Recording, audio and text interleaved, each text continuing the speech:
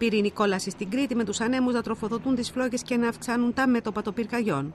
Την ώρα που εκενώνονται οι οικισμοί στη Βιάνο και το χόνδρο Ηρακλείου, τρία νέα μέτωπα πυρκαγιάς θέτουν σε συνεγερμό τις πυροσβεστικές δυνάμεις στο Ρέθυμνο. Στο Ηράκλειο, από την περιοχή Μέση μέχρι τη Βιάνο, επιχειρούν δύο ελικόπτερα και ισχυρή δύναμη πυροσβεστών. Μάχη με τις φλόγες δίνουν και οι κάτοικοι με ό,τι μέσο διαθέτουν για να προστατέψουν τις περιουσίες τους. Όμως, οι δυνατοί άνεμοι δυσκολεύουν το έργο της κατάσβεσης.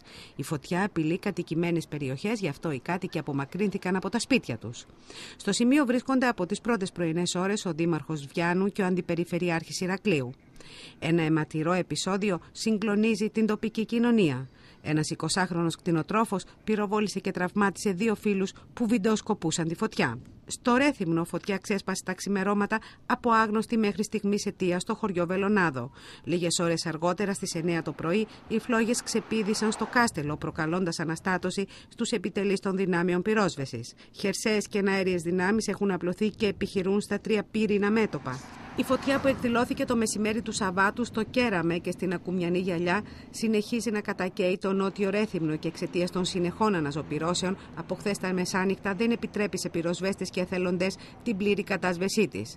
Τέλος, υποελεγχοτέθηκαν οι πυρκαγιές, τα μάλια, αντισκάρι και τσούτσουρο. Φωτιά εκδηλώθηκε το μεσημέρι σε δασική περιοχή στη Ρόδο ανάμεσα στα χωριά Απόλωνα και Μαλώνα. Στην περιοχή επιχειρούν δυνάμεις της πυροσβεστικής που προσπαθούν να θέσουν υπό έλεγχο τη φωτιά.